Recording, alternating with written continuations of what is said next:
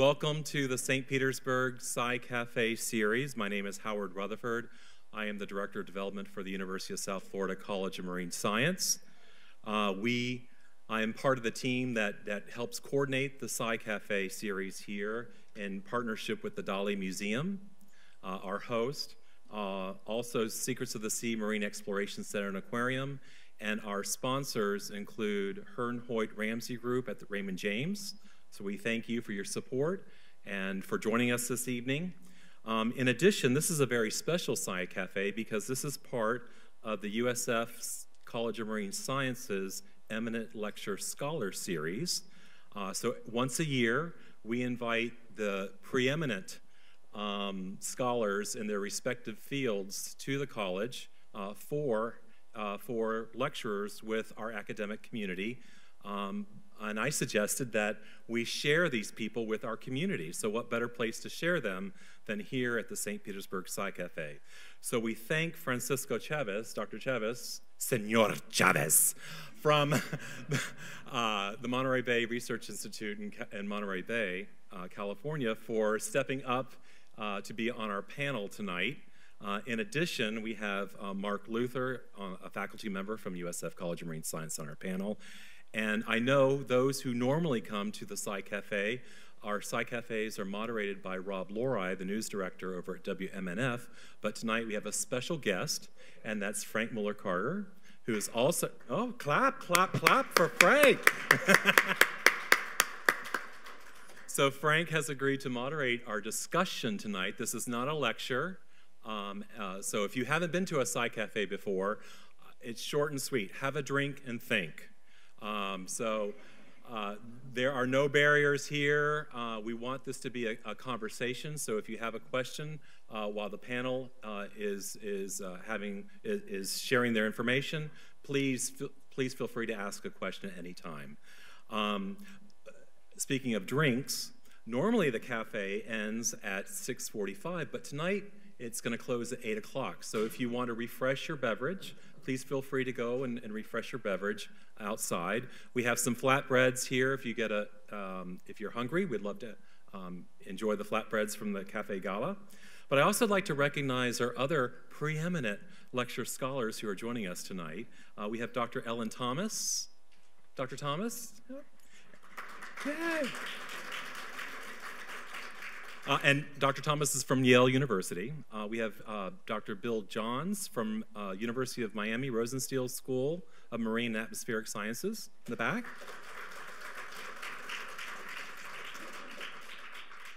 And we have Curtis uh, Deutsch, excuse me, Dr. Curtis Deutsch from the School of Oceanography at the University of Washington, also joining us. Curtis? Where's Curtis? Oh. So um, usually we're not this, this well prepared, but I want to give you a teaser for the next Sci Cafe, which is going to be May 17th. Um, and uh, it's, I don't choose the titles, I just read them here. Uh, Swinging ain't just for monkeys, monogamy and polygamy in the animal kingdom. And uh, we actually have, hi Chris, we actually We actually have one of the panelists joining us today, Dr. Debbie Castle, in the back from USF St. Pete. So uh, she'll be able to share with us um, about our next Sci Cafe. So as you can imagine, it's a very casual conversation. So uh, take it away, Frank, and thank you for joining us this evening. Well, thank you, Howard. I'm not going to speak very much. I'm going to let the panel in, uh, introduce themselves, and so I think that Mark is going to go first. Oh, okay. well, so how do I advance the slides? Do I go over here? Well, I'm Mark Luther. Um, I'm a physical oceanographer, which means I study the motion of the ocean, winds and waves and currents and tides, and all the things that, that those affect. But our topic tonight is extreme events, and the sort of extreme events that I work on are coastal flooding events, coastal storms, particularly how they impact uh, maritime transportation, ports and harbors. Uh, we do a lot of work on basic maritime security, but security means lots more than just protecting against bad guys in boats with bombs. Uh, Hurricane Sandy, for instance, in the port of New York and New Jersey, did much more damage than any terrorist attack could have ever hoped to do. Um, the storm made a direct hit on the port of New York and New Jersey. Aside from doing lots of damage in the surrounding populace, it shut down the port of New York and New Jersey for seven or eight days completely, which had huge repercussions throughout the U.S. economy. Uh, it hit just before Black Friday, so it totally interrupted the supply chain for all the Walmarts and the Best Buys and all of that. Cost many billions of dollars. Uh, and even once they got the port back open again, a lot of the maritime terminals there, the terminals that unload the ships of containers or fuel oil or gasoline and things like that, their infrastructure was severely damaged and it took weeks and months for many of those terminals to get back open again. So again, when you're thinking about port security and extreme events, these sorts of things are of particular concern. Uh, NOAA happened to have a tide gauge in the upper left there, right at uh, the battery at Lower Manhattan, and a weather buoy uh, just offshore of the entrance to the harbor. And the graphics here in the lower left is showing the water level. The red curve is the observed tide height. The blue is the predicted tides from the normal tide tables. The green is the difference between the two. Well, this is 14 feet at the top. So the water level got up to 14 feet above a normal low tide level, which inundated much of Manhattan, flooded subway tunnels, flooded underground electrical uh, substations and things like that, wiped out power to, to major parts of the city. The graphic in the upper right there is the significant wave height, the average height of the highest waves. Waves got up to almost 35 feet on average. Many waves were much higher than that during the storm. The lower graphic there is the wind speed. The winds got up to almost 50 knots. And so that caused severe damage, uh, destroying all sorts of infrastructure and uh, embarrassing the Statue of Liberty. I don't mean to make light of mass destruction, but it was such a funny picture, I just had to show it.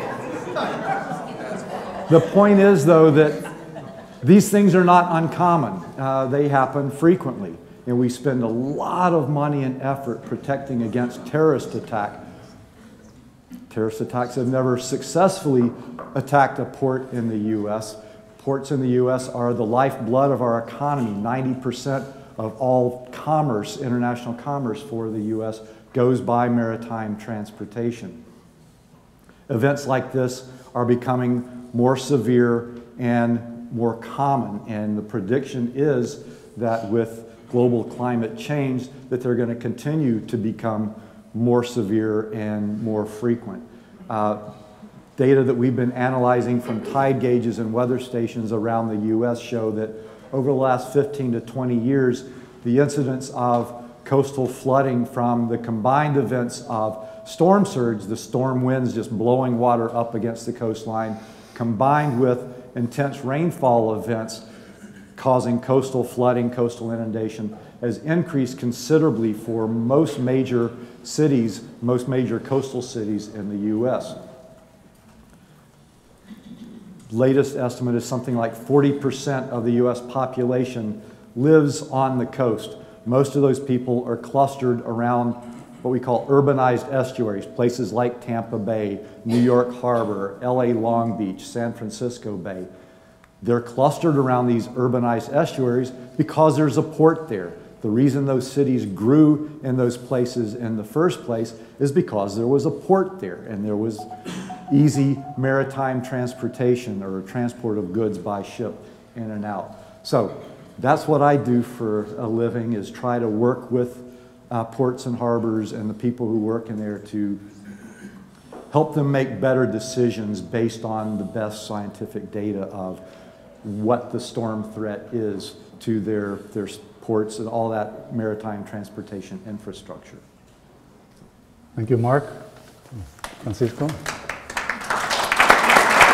Here.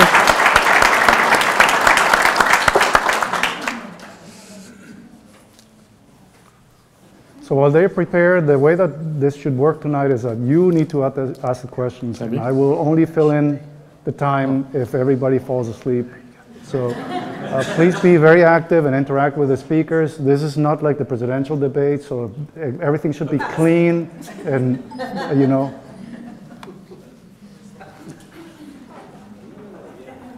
Okay. Uh, Good evening. Uh, My name is uh, Francisco Chavez. I'm a uh, biological oceanographer from the Monterey Bay Aquarium Research Institute. Uh, MBARI is uh, of the family, uh, have any of you been in Monterey here? Yeah. Been- Been been to the Monterey Bay Aquarium? Yeah. So uh, uh, the Packard family, uh, David Packard from Hewlett Packard and his daughters, uh, founded the aquarium in 1983. And the aquarium was such a success that uh, after a couple of years, the little gift shop was making a million dollars a year. Uh, and uh, they went back to their father and said, Dad, we think we should invest uh, that money in research. And their dad said, No, you keep that money to the aquarium. I'm going to start a new institute. And I was fortunate enough that the first director of that institute, almost 30 years ago, was my PhD advisor. And so we uh, uh, packed up from North Carolina, Duke, and uh, came over to Monterey, and I'm, I'm still there. It's a wonderful place to work. Uh, uh, today I'm going to talk to you about El Nino, which most of you know. Maybe some of you don't know about El Viejo, the old man. El Nino is the child. Uh, extreme events of, of global climate variability. And, you know, uh, every day, well, maybe a few months ago, there was things in the news, El Nino's coming, uh, death and destruction. Uh, it, it, it- it's kind of uh, ironic that if you're from California, uh, nowadays, people are going, come on, El Nino, please.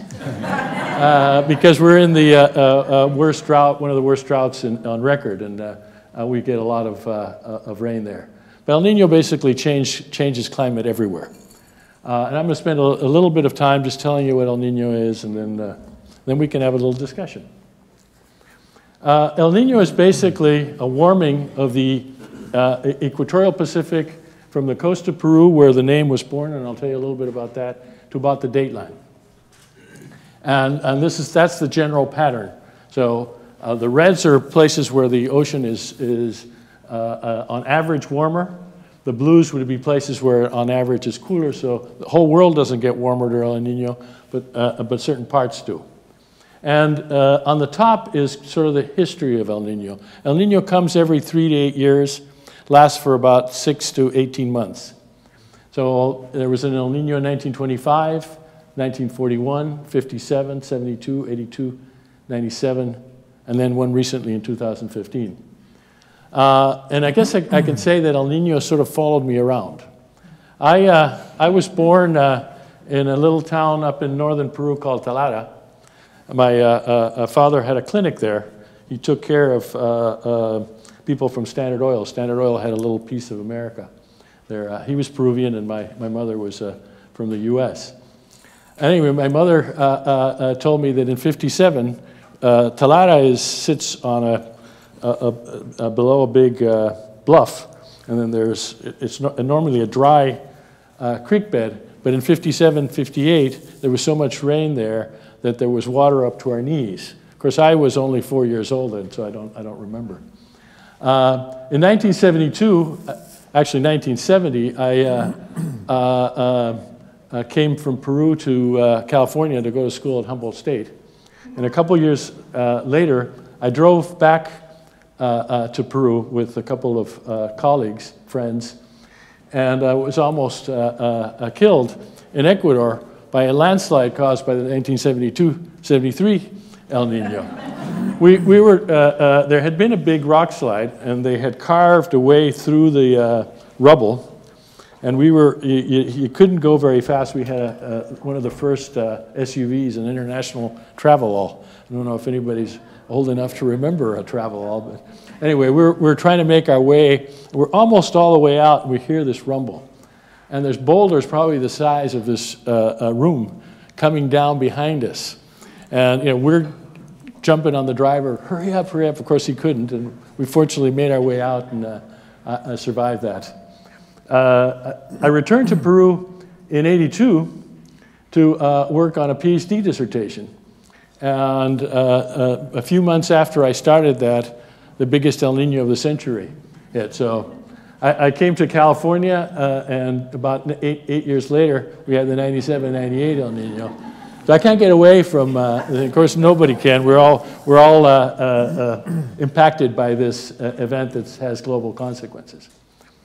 I'm going to see if I can play this a video, or if it plays. Okay. Uh, the colors on the screen aren't as pretty, uh, but you, somewhere here, there should be a counter on time, okay, on the top. Uh, and, and you'll see the 82-83 event actually went through. The, the ocean will get colder and warmer along the equator and along the coast of California as we watch this uh, animation. Uh, so I guess the, the, the, the, what I want to get across from this is the ocean is a lot more dynamic than we think it is. We look at the ocean uh, from afar and we think it's this you know, evenly distributed uh, uh, uh water mass, but it, it's exactly the opposite. On every year, uh, conditions are different. There are places where it's warmer, there's places where it's colder. This is 92, 93. You'll watch when we get to 97, and we'll get another big El Nino signature right here in the, uh, along the equator. Here's this little cold event.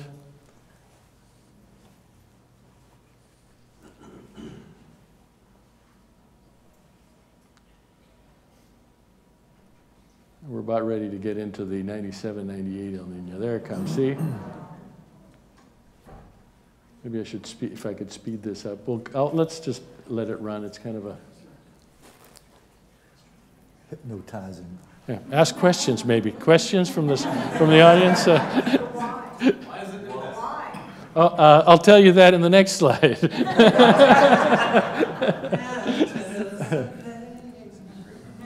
Uh, it, it, essentially, what happens is the, the, the it, during uh, uh, some periods, the trade winds, which blow along this way, pile up a whole bunch of water and heat over here. And that uh, a potential energy is released occasionally. And uh, uh, the, on average, sea level, sea level here is about 40 centimeters higher than it is here. And that's a lot of water.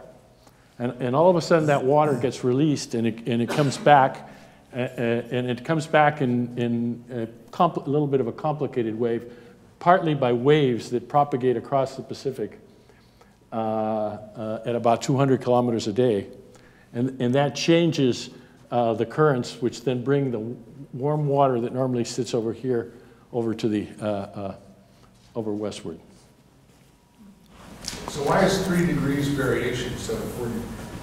40? because the, for example, the, the atmosphere is very, uh, doesn't, have, doesn't retain a lot of heat. But if you move, if you, you, know, you take something this large, this is, it ends in December 2015, that is an incredible amount of heat. And that moves all of the pressure systems around the world to different positions. And when you do that, you alter weather everywhere. And remember, that's one third the circumference of the globe. And if you look, Tampa, Florida is actually west of Lima, Peru. So all of that heat's sitting directly to the south of the continental US, and it disrupts weather patterns over the entire globe, but particularly over the southeastern US. Thank you. There's a, a, a little, other little uh, caricature. I may have too many things here. Uh, so the, uh, uh the the name was actually coined by northern Peru fishermen just south of where I was born in a little town called Paita, because every, uh, every so often in the summer or in, around Christmas time, this warm current showed up. And so they called it El Nino, capital E, capital N, for the Christ child. Uh, and in, in the unusual years, there was an incredible amount of rainfall there. Uh, uh, there's usually millimeters of rain, and it goes into uh, several centimeters um, a day at, times. And, and all of a sudden, things, different, very th different things show up off, off of that part of the world. Crocodiles that normally are living in the Rio Guayas make their way down south. About 20 or, or 30 years later, a, a British meteorologist by the name of Sir Gilbert Walker coined a term that's called the Southern Oscillation. And in the uh, technical parlance of science, we, we, we refer to the El Nino phenomena as El Nino Southern Oscillation because it, there's a link between what's, what's happening in the atmosphere and what's happening in the ocean. Southern Oscillation, the atmosphere, El Nino, the ocean. And it, it really isn't, you know, it's pretty, pretty amazing it took us this long. It isn't until late 60s that a, a, a uh, uh, Swedish meteorologist by the name of Bjerknes puts them together. And then we, we start to understand why uh, uh, this phenomena uh, that you know, was first coined by a few fishermen here, it really changes weather almost everywhere. And Mark was talking about how uh, this part of the world, in fact, the, uh, the, the, rainfall events that were happening in Louisiana uh, a few weeks ago, even, uh, were, were very much likely associated with uh, the El Nino phenomena.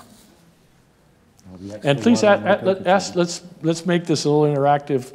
Uh, ask questions as we're going on. Yes? Is, over the years, is El, El Nino getting worse due to uh, climate change that's an excellent question, and unfortunately, one we don't have a definitive answer on.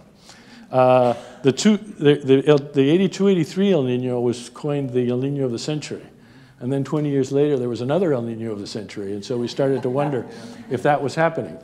Uh, at, at, the same time, there's so much natural variability that it's very difficult for us to say, yes, you know, we, we have something to do with that. Yes. Is there anything in the Atlantic Ocean that's equivalent? I see nothing uh, affecting Europe at all, and the Atlantic Ocean doesn't seem to have any. Uh, my uh, PhD advisor used to call the Atlantic a nervous little ocean because because you need a lot of mass to get something big to happen, and the Pacific is just much bigger. Having said that, there are uh, some things. There is a, an Atlantic El Nino. It's not as big as the, as the Pacific one. There are other uh, phenomena that are varying on longer time scales, something called the Atlantic multi-decadal oscillation. There's also something called the North Atlantic oscillation. So there are things like it, but El Nino is just the biggest thing. It's the biggest thing uh, in terms of uh, uh, present day climate variability. It just overwhelms everything else. But it doesn't mean there's nothing else going on. Yes? How do um, climate, how does climate change and El Nino, how do they interact? Interact? I wish I knew the answer. it's, we, we, we, don't know. And in fact, the, this last couple of years, 2014 through 15, 16, were very odd in the Pacific. And everybody was asking that same question. Is it because something we've done? Is this a sign of a change? Because uh, if I get to it, I'll, I'll, tell you a little bit about these longer term cycles that we call regime shifts, and where uh, rather than being every six to 18 months or happening every three to eight years, they stay around for 20 to 50 years. Not, not as strong, but there, there's these periods when things are either lower or higher in temperature in certain parts of the world. And, and does that and, and, and, so maybe that is, those are interacting. And what about sea level rises? Uh, sea level rise probably does not have uh, much to do with El Nino per se, but El, Ni El Nino changes sea level pretty dramatically. Because as I said, you know, normally it's 40 centimeters higher here, and during El Nino, uh, sea level off Peru will go up uh, 30 to 40 centimeters, which is much greater than the, than the gradual rise in sea level that we're seeing. So is the release of the warm waters from the west to the east a result of the trade winds not being as strong? Uh, the, there is a, there's a general weakening, but the first thing that kicks them off is, are these. Uh, the, the, the southern oscillation is basically the difference in pressure from this a, a high pressure system that sits here, the south eastern tropical high, and the, Indi, uh, the Indonesian low. And you measure it by the difference between uh, sea level pressure in Tahiti and Darwin, Australia. And as this low uh, somehow moves in, inwards a little bit, you start to generate these wave, these Kelvin waves. That begins a series of things that keep pushing into the uh, uh, uh, uh center of the Pacific, weakening the trade winds. So there is a weakening, a general weakening of the trade winds. It's not sure what's the chicken or the egg. The atmosphere and the ocean are playing this game, and uh, we don't know what, what kicks off what very well. Yes? Is there any correlation between outer space, for instance, planets, uh, comets, there, there's, um, that would affect what's happening here? There could be, although there is no, uh, there's also talk, thoughts that, they, that volcanism might have something to do with it. Um, but uh, we, don't, we, we, don't think so, but it doesn't mean that that's not true. Uh, there, there's enough that we understand that this, this play of, of uh, uh, warm water piling up and going back seems to be a natural thing that occurs in the system. But, but uh, there are people that write about volcanic eruptions causing it and things we don't think so. Yes? I noticed when you showed the chart where the trade winds were blowing water that way. Let's, let's put this one up. Okay. It didn't seem, the intensity it shows on the map of the heat didn't seem comparable to the intensity it shows when it gets over in the El Nino. Is there something else causing that to heat up? Uh, or is it just the way the map was? Yeah, I think it's just the way the map was. I didn't really have the trade winds there. Those, that was mainly temperature. So I, have sort of talked through this. Here's this high, low pressure system that sits over Indonesia, and then there's a high pressure over here, causing this trade wind ac action to accumulate this heat and water over here. And, and that actually piles up and deepens what we call the thermocline. The thermocline, the ocean is, is, is divided in two layers, a warm layer and a, and a deeper, colder layer. And for biological purposes, that deeper, colder layer is important because it's kind of like a compost. As material sinks down there, it decomposes. But it's, it's down below the, where light reaches, and so it doesn't do anything. So it's like if you, if you gave a lot of fertilizer to your plants and then cover them with a black tarp, it wouldn't do anything. But there are processes that bring that water back up to the surface, upwelling, which happens along the equator and happens along the coast of Peru, it bring that fertilizer to the surface and uh, things grow. In Monterey, we have upwelling, in coast of Peru, we have upwelling, and we get this very rich sea life. Uh, what happens during El Nino as this uh, Indonesian low moves into the Central Pacific, you generate these waves. And these waves propagate across, and, and it takes about two months for a wave that's generated here to reach the coast of Peru. And what, it, what they do is they deepen this thermocline. And that changes the whole circulation pattern of the ocean. And it essentially ends up warming up this entire region. Does that help a little bit? Uh, and then that is maintained for about six to 18 months, and then the trade winds uh, uh start to get strong again, and we get back up, and we get cold water, and we get happy fish in Peru, and things of that nature. Now, does the trade, the trade wind still blow this direction, or do they reverse? Uh, they, they only reverse, yeah, they reverse back here. Yes, they do reverse. And so they, these are, there's these, we call them westerly wind bursts over here. And, and as the, it, it's kind of little, they, they sort of go in steps. The first one moves the, the low over a little bit, and then it keeps moving it, keeps moving it. And the bigger the El Nino, the farther it goes into the, uh, into the Pacific. Okay, well, that was, uh, this is the, the, the, map where I was, I, I already told you, I was born up here. uh, and then I, I, went back to uh, uh start my uh, uh, PhD research right here. And, and this is what, what I measured with some very sophisticated instruments. we we rented a, a fishing boat and we had a little winch and we would manually uh, lower a, a, set of bottles down and we'd bring them back up and we measure things from the bottles and and uh, uh, and what we measured So I, I started, and I was going to study, I wasn't going to study El Nino, I was going to study, you know, the, the normal upwelling. And in June, and all of a sudden on September 22nd, on a particular day, the temperature there increased by four degrees centigrade. And then it continued to increase. This is the, this is the average temperature of that area. This is an area that's five degrees from the equator, so it's very close to, it's tropical, should be tropical.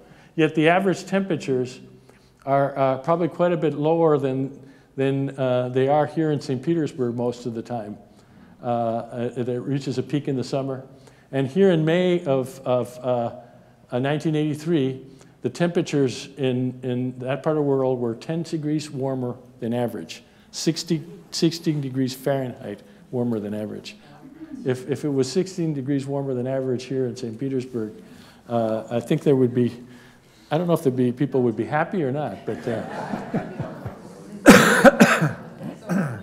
and, and this is what, uh, uh, uh when I, uh, I first got there to start, there's a, there's a, a, a, road that goes from the airport in Piura, which is inland, to the port, and I would take it and I would go and I trained some of my Peruvian friends to do, the, do some of the work there, and then I come back, and when I came back, uh, oh, I got I to tell you another uh, interesting anecdote. So when, uh, once we knew, we sort of knew that this was coming on, and uh, we met uh, some U.S. scientists that were, had come to Lima in, on a vessel. They'd come across the Pacific. And we went on the boat with them, and they said, We've, we've seen changes in the ocean we've never seen before. Uh, the thermocline is you know, deeper than we've ever seen it on the equator. So I went back to my family. I, I had, my father was the oldest of 10, and so I, some of my aunts and uncles, and I said, You know what? It's going to be disastrous this summer. There's going to be rain everywhere. They laughed at me, you know, and said, Okay, whatever. You know, I was uh, uh, uh a young kid. So I came back in January and I came up here and it was like this. And then they said, How did you know? so I gained some respect uh, uh, with the family. I mean, there's tremendous disasters in northern Peru during this. Roads get completely washed out. I had to take one, uh it's like a, it's not a taxi, we call them colectivos. You get, you get, to get five people on a, on a, a car and you go uh, from one side of the place to the other. And I had to take one, and there, there, there was a new river, and so we would get down, they get us across the river, we get on to their next one, and, and I got to the town, and it's totally washed out. Uh, there, there's, there's pretty amazing uh, uh, consequences. This happens to be in the Galapagos Islands. This is during a cold year. You can see how dry it is, and this was in the warm year. Uh, this was my PhD advisor at Duke. Uh, and you know, the whole ocean changes in terms of uh, uh, uh, what lives there. The normal uh, uh, ocean off Peru is uh, dominated by, primarily by this, by the anchovy. It's the biggest single species fishery in the world. At some time, it accounted for 20% of the total global catch over an area that's less than 0.1% by area. So 20% of the global catch over a very small area. There's other uh, uh, fish that are typically there. The uh, cormorant is a big player. And when, when this uh, water that's normally cool becomes very warm, it opens it up for all these tropical species to show up. And uh, uh, the sardine is favored during warmer years, but we get a lot of mahi-mahi, swordfish, tuna, the shrimp that's normally up off of Ecuador becomes uh, uh, predominant uh, here. How are we doing? Should, should, I, should we stop and, and I was briefly introduce El Viejo, or should we keep asking questions, or how? What, what, what does the what does the audience want? What does the moderator want? I, well, maybe I don't know. Do you want to much. jump in? Um, no, go ahead. well, let me ask you something. Uh, I, I, think that, I mean, we, we know, both of you have talked about things that are very contemporary. And, you know, the, the world is uh, four and a half billion years old, and there's what we call extreme change that can be uh, uh happen at, over very, very short distances and very short time scales, and there can be Uh, this afternoon we heard about extreme events can happen over millions of years, you know, even tens of hundreds of millions of years. So why should we care? I mean, what, what should we as a society think about and worry and, or be prepared for in terms of extreme events? Is, if this is uh, recurring every three to eight years, is it really extreme? Do we, we know it's happening? So what, what, are, what are extreme events that we need to worry about? Uh, how do we prepare for them? Um, I think uh, we have, as a society, we've tend to normally uh, prepare for the average. And uh, the point of um, our talks is that it's, it's fairly average. And uh, we don't know uh, if, as the audience has indicated, are these events getting larger or smaller? Uh, are we going to see some event that's bigger? Are we going to see a shift that goes a step function where we're not going to come back?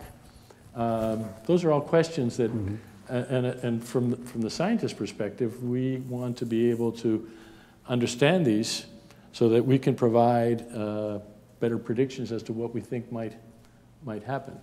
So the, uh, the, you, you, we know that we're changing climate. It's unlikely that the climate change changes are going to be a, like an El Nino, but we're going to uh, learn something about those by dealing with them. Uh, there are incredible economic consequences if you, if, you know, the U.S. invested you know, millions of dollars into an observation system along here so they could predict El Nino because on the seasonal timescales, you can do lots of things that will uh, uh, save perhaps lives, money. So our ability to predict into the future is incredibly valuable. I mean, if, if, if uh, we know that the anchovy fishery is not going to be around for a decade, uh, it, it's a, it be, I, I, I, guarantee you the fishermen off Peru would like to know that. Mm -hmm. So Mark, do you have a reply? Yeah, a uh, couple of things. Uh, follow up on that point. Gosh, 10, 12 years ago, I was having lunch at the little cafe there by the Harborage Marina, and that's when it was Florida, it was Progress Energy then, I guess it's Duke Energy now, their offices used to be in the old power plant building there next to the Harborage Marina. And there were two guys sitting at the next table talking about El Nino. And it turns out one of them was one of the head guys from Progress Energy, and the other guy was a consultant that they had hired to help them predict whether or not there was going to be an El Nino coming. And they were using that information to figure out whether they should buy or sell futures of energy consumption for the following winter because if it was going to be an El Nino, we're probably going to get more cold weather. They needed to buy future shares of energy. If it was going to be a non El Nino, it was going to be a somewhat milder winter, and they would become a seller of energy futures. And, and this was 12 years ago, before we knew nearly as much as we know now. There are commodities traders that use these El Nino predictions to buy corn futures or soybean futures because whether or not there's an El Nino affects crop yields in the Midwest. Um, El Nino tends to suppress hurricanes in the tropical Atlantic. We didn't have very much hurricane activity this past year because it was El Nino year. Next summer, we don't know because this El Nino is not behaving like a lot of past El Ninos might have led us to believe. Yeah, but on the on the the preparation for storm surge front, I mean, all of you who live in this area probably already have some experience with that and being prepared for the next big storm, even though we haven't had a really bad one here in a while. But port authorities, I spent yesterday over at the Port of Tampa with the operations people there, talking about their preparations for storms. Even though they haven't had one in a while, they have all sorts of contingency plans in place, largely based on lessons learned from Superstorm Sandy in New York, New Jersey. They have uh, agreements with the fairgrounds to pre-stage equipment there as a storm approaches so that As soon as the storm leaves, they can come and start clearing the roads and opening up the port uh, so they can get gasoline flowing again. Like half of all the refined petroleum product for the state of Florida comes under the Sunshine Skyway Bridge. The Port of Tampa shuts down, gasoline over most of West and Central Florida, gas stations run out of gasoline. Uh, so there are lots of things that you can learn from studying these past storms and trying to understand how things are going to evolve in the future that can you know, save lives, save uh, large sums of money in the future. So Mark and Francisco, so we, we know the, the language of El Nino. When you talk about climate change, at least people uh, uh understand something is happening, but it, has a name. I mean, you have a name, an El Nino. So now over the past couple of years, scientists, distinguished people like you, have been talking about blobs in the ocean. You know, you have a warm blob in the Pacific or you have a cold blob. And this is the 21st century, and scientists talking about blobs in the ocean. so what, what is this? Is this I, new, I didn't, say, new I didn't language? Coin, I didn't coin that term. but it is, it is, it is, real scientists are using this, these, these terms. So why, why are we, uh, is this something that we just haven't figured out? Is a new, it, this is an extreme event that we don't know how to name? What's going on here? Um, I think there's a couple of things going on. One is we have never looked at the world in the detail that we're looking at it now. We, we continue to uh, uh, have new ways of, you know, our satellites are better, our observing systems are better, and so uh, we're looking, the, the, one of the reasons is just purely we're looking at it more carefully. Uh, and the second one is we don't know uh, as much as we think we do. Uh, the, nature tends to not conform to the rules that we think we, th we thought they did. The, the blob essentially, if, if you turned it around, the, the blob in the Pacific, is basically the inverse of this. That's the same area where this warm water formed. And it, it just was unusually long in its state. But the, the location of it is basically part of the variability dis distribution. So it's not that unusual. Mm -hmm. It's just, it was, it, over the last 20 or 30 years, we've never seen no, in fact, that, if you look at the movie that you showed, yeah. it shows up several yeah, times. Yeah. So it was very interesting. Yeah. Yes. On the question on the fact that El Nino is in place, then we tend not to have as many hurricanes. Is that because of water temperature in the Atlantic or because of the trade winds? Mark, do you want to? Well, normally, um, during normal years, there's lots of cold water here, and that affects the atmospheric circulation between the Atlantic and the Pacific across South America and leads to very little vertical wind shear. The winds are essentially the same from the surface up through the atmosphere. During El Nino, because of the way this, all this warm water piling up here changes atmospheric circulation patterns, you get a lot of wind shear. The winds at the, near the surface of the ocean are blowing in the opposite direction of the winds in the upper atmosphere. And so when hurricanes start to form, they form by thunderstorms penetrating far up into the, the upper atmosphere and becoming very organized. That wind shear, we call it, lops the tops off of them. And so the hurricanes can never build up the strength that they, they normally do in the absence of that wind shear. So that's how El Nino kills hurricanes, basically. But there is an enhanced hurricane activity in the eastern Pacific yes. and, in, and in the western and Pacific. We saw that this year. We had some of the. And, and, you kind of see this a little bit here. This is not quite El Nino, but it tends to be cooler over here. And of course, the hurricanes get generated up here, so there's also a little bit of cooler water yeah. at the site of. In of fact, one of the most powerful hurricanes ever recorded was this past year. It hit the coast of Mexico. Mm -hmm. Yes. So I'm fortunate to work in the Galapagos, and 82, 83 killed about 95% of the corals. And with the prediction this year, we've been watching, and luckily, even though the water's been warmer, we haven't seen a lot of dead animals. So getting back to what you were both talking about, we're pretty good at predicting the big picture, but we're not so good at predicting more of the local variability given El Nino or climate change where do you think we're headed and what are the obstacles to improving our forecasts? So the, you know, the, the U.S. or the world actually spent a lot of money in, in El Nino forecasting.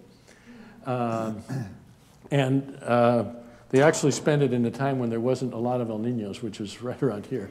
and so when there's not a lot of El Ninos, sort of, uh, but, but it, there's more to it than that. This movement of this low uh, is, and the atmosphere itself tends to be chaotic.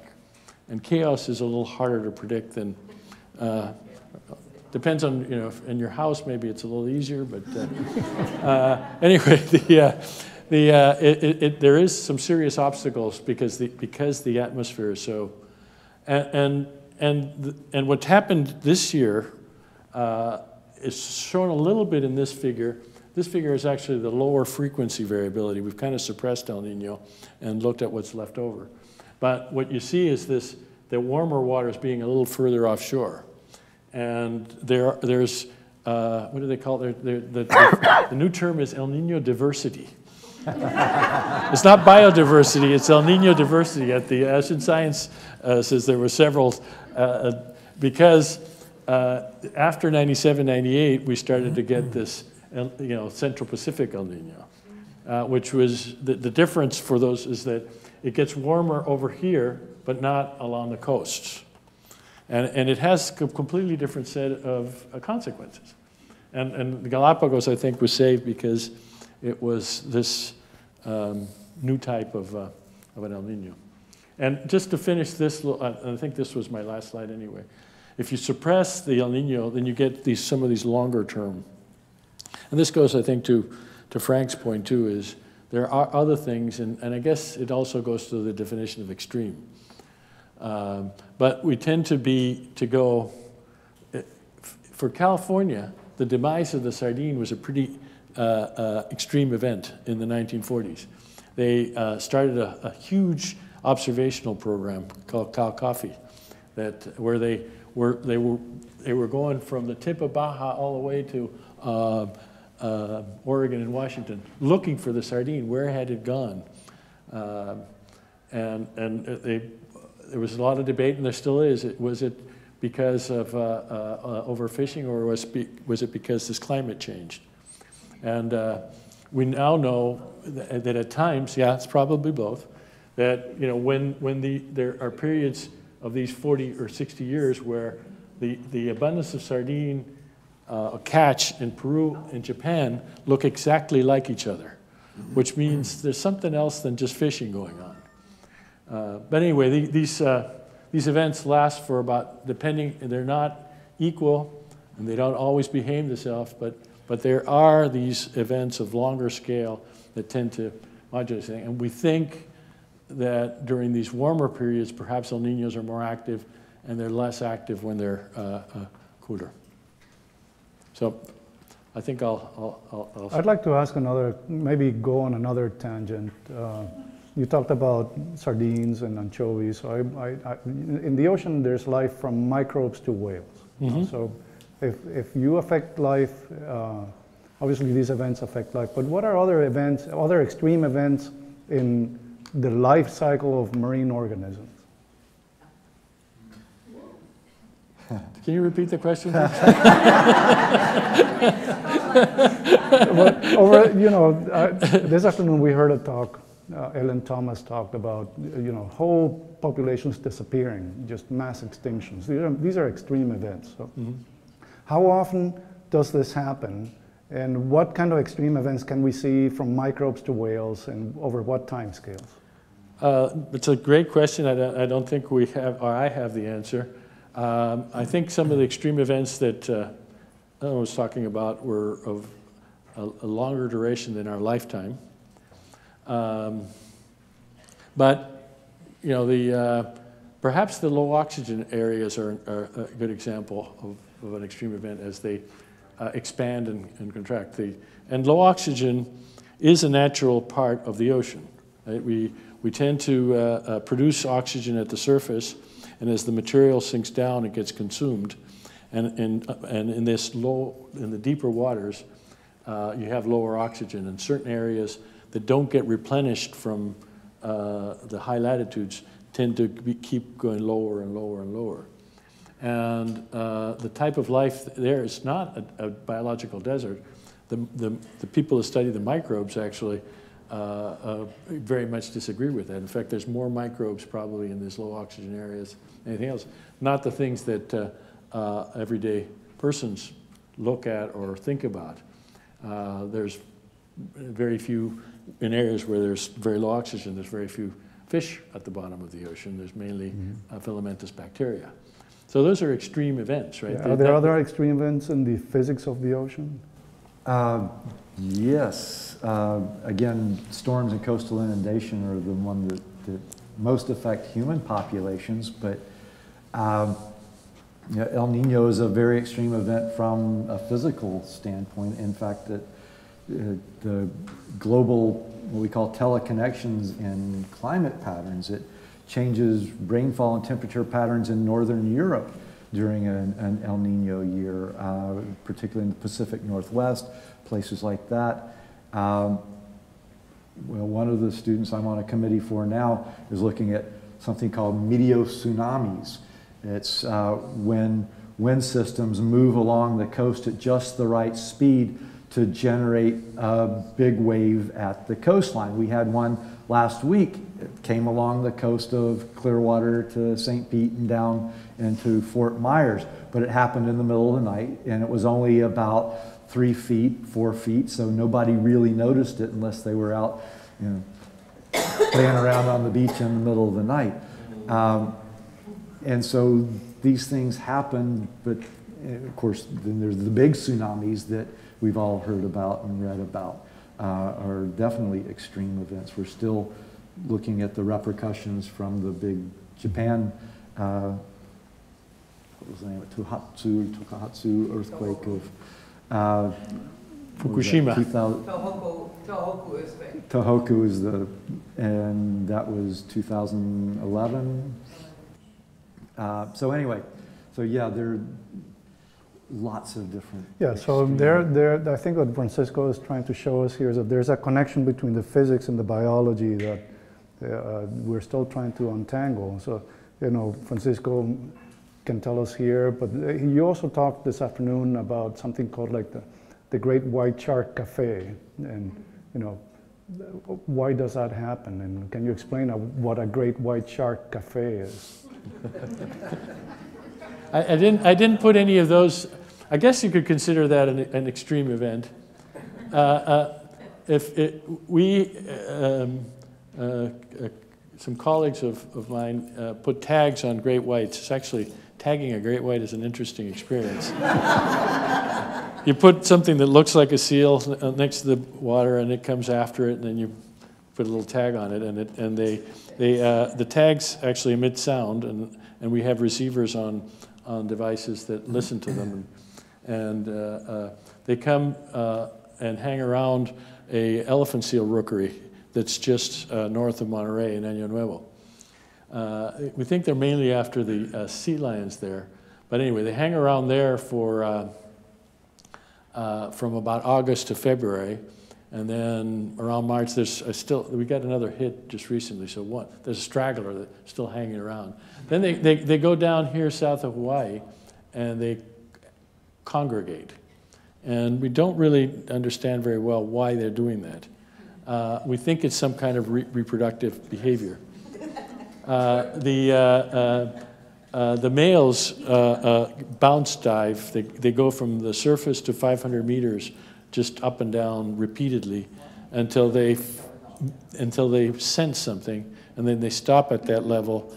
And we've been trying to develop some a camera that goes on the with the tag that will turn on when they get there, so we can see what they're doing.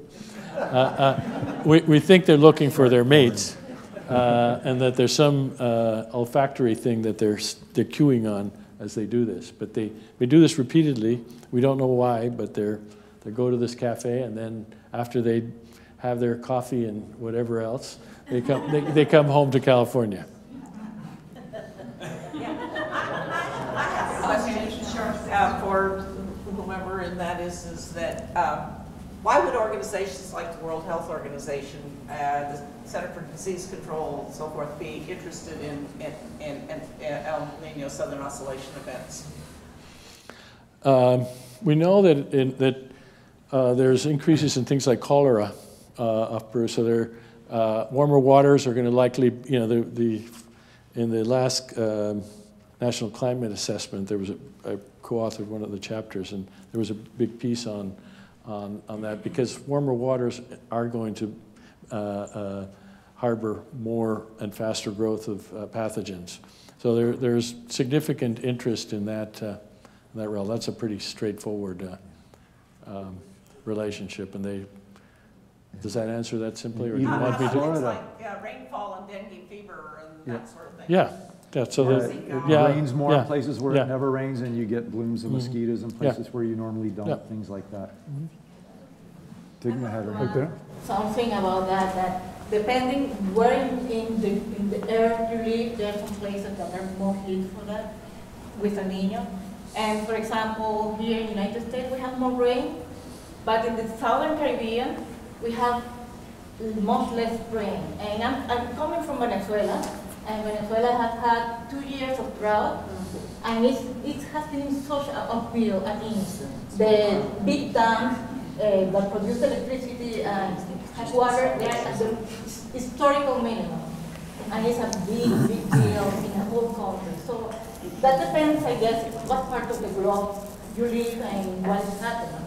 And I was just remembering, like uh, a long time ago, I read a uh, paper about the how the Maya civilization ceased to exist, and they were blaming like several years of drought. That uh, in that area there are not really rivers, but uh, underground water, and some events like that it could cause several years of drought that could end a whole civilization. There was a, uh, there's a legend in, in, from Peru where uh, uh, the leader of a pre-Inca civilization moved his town during an El Nino year, and it rained, and it caused all this famine, and the legend goes that he was sacrificed after that. So. yes. I don't have a good sacrifice question. But Mark, in, in your work with the ports and thinking about climate change, they're obviously thinking that hurricanes might get more intense. Are they talking at all about potential changes in tracks due to atmospheric and ocean changes? Not so much at the, the port engineering level. Um, they're more interested in preparing for the worst case scenario under whatever the latest estimates of what those worst case scenarios might be. And even though the, the average tracks might change, again, uh, the mean is meaningless when you're starting to talk about the extremes because it's the extremes that do the damage or cause the major shifts in populations and things like that. It's not the mean conditions we were about. It's, you know, if it's normally distributed, it's that stuff out in the 2% tails of that distribution that, that are of, of most concern. I'd like to uh, make a remark, Frank, uh, lastly about what you were saying, that if we're talking about the long-term geological history which I'm working with, then many people say something along the lines of, you know, it's always been warm, it's always been cold, you know, why would we worry about that? And so the answer to that, I, I always feel strongly about that, and I think that it's uh, not a very smart question. Um, because uh, the world has indeed always been warm and always been cold. On some of the periods that I study had no ice caps on the Antarctic. And the world doesn't care at all. The world functions great when it's warm. It's just our civilization that happens to be in the way. And so it's not anything that, you know, the world is going down the drain. It's our civilization. And, you know, as someone who is from Holland, who is just as, uh, you know, having problems with sea level rise as Florida has, uh, you know, if you have no ice cap on Antarctica, sea level is uh, 60 to 70 meters, 200 feet higher. And so there will be no Florida. And so the world has no problems. But it's the human civilization that has problems. Right. Yeah, no, I, I agree. I mean, uh, why would we care about ocean physics if we weren't thinking about it, right? So, yeah. Uh, uh, go ahead. One thing on, on the El Nino effect on the fishing industry and, and world fishing, I mean, does it, does it go down? I mean, we- are we affected tremendously by maybe the migratory issues that it causes and the fishermen can't find what they're, they're, because they go to deeper depths and we suffer from a great loss during this time, or is it just normal? Um, there's a lot of redistribution, and it's hard to tell. So somebody's going to win and somebody's going to lose. That's, I think that's the story of changes in climate. There's winners and losers. um, you know, the, the anchovy uh, population gets hammered, but you, you know, there's a new resource in the shrimp that are, is a, a more profitable. Uh, um, I, but I think, I, I think it's, in general, there's probably a negative effect because it's a, it's a little bit harder to react in time, but we're getting better at that. The, uh, um, um, agriculturally, there's, there are some huge changes, and those are a little harder to deal with. There was a, a recent meeting in, in Rome put on by the UN about, you know, responding to this El Nino uh, changes in, in agriculture and food security. So the big, big changes there. When I was uh, a graduate student, you know, uh, uh, the story that I was put out of business by the TAO Array because the TAO Array, you know, now gives you know real-time information. It's a wonderful resource. You can pick it up. Anybody can. And the fishermen, all you know, and the people. I used to get Yeah, calls. maybe you, we only have a couple minutes, but maybe you can say what the tower array is. Okay, the- let me, let me finish the story. I used to get calls from soybean farmers in Argentina, because I had access to the temperatures off Peru. They call me on the phone. Uh, We don't, we don't do that anymore. We use the internet or, or Facebook or something like that. They called me on the phone and asked me, you know, what was going on, because there's, there's a huge uh, uh, uh, uh, change in, in uh, rainfall in this part of the world, and that, it, it was twofold. If the, if the, if the anchovies went down, that, which produces fish meal, then the value of the soybean went up. A- And, and they also knew how to, how to deal with it. The TAO Array is a series of, of uh, moorings that go from uh, just west of the, or east of the Galapagos all the way across the Pacific. And they report information in real time. And so you, you can, Basically, you can weather pull up. like the one that I Yeah. showed earlier. You can pull up that information now, and they have these beautiful graphs of, you know, what, what's going on today. Uh, And so I was put out of business by the, uh, So any closing comments? I, I I wanted to follow up, I think, with what Ellen said, and uh, uh, the uh, esteemed climatologist Newt Gingrich uh, uh, was in a talk, talk yeah, yeah, yeah. was in a uh, talk show, and, he, and the, and the, uh, uh, uh, the talk show person was giving a hard time, well, you know, do you don't believe in climate change? And so he said, asked them, well, what is the optimum temperature of the world? and so I'll leave you with that.